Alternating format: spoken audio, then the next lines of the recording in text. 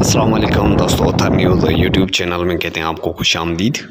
दोस्तों, आज आपको बड़ा ही ख़तरनाक वीडियो दिखाने जा रहा हूँ। ये जनूबी पंजाब और कराची के मुख्तलिफ़ इलाकों में आपको याद होगा, कुछ दिन पहले जो तूफ़ान आया था तो मज़ीद अपडेट आपको बताते हैं। उससे पहले आपसे छोटी सी गुजारिश है, हमेशा की तरह कि please Thar news YouTube channel ज़रूर सब्सक्राइब करें, साथ ही बेल आइकन को क्लिक कर दें, ताकि इससे रिलेटेड कोई भी वीडियो मैं अपलोड करूँ तो सबसे पहले आपके पास नोटिफिकेशन आ जाए।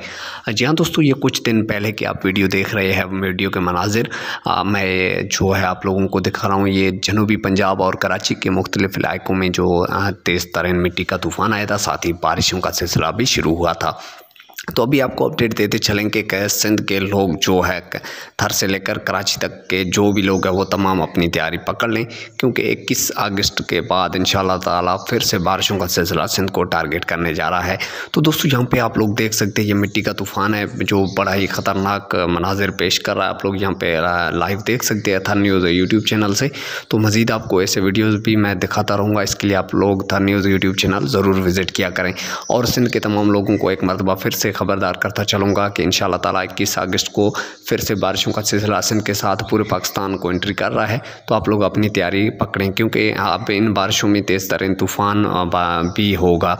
तो मज़ीद अपडेट के लिए देखते रहें था न्यूज़ यूट्यूब चैनल। अल्लाह हाफ़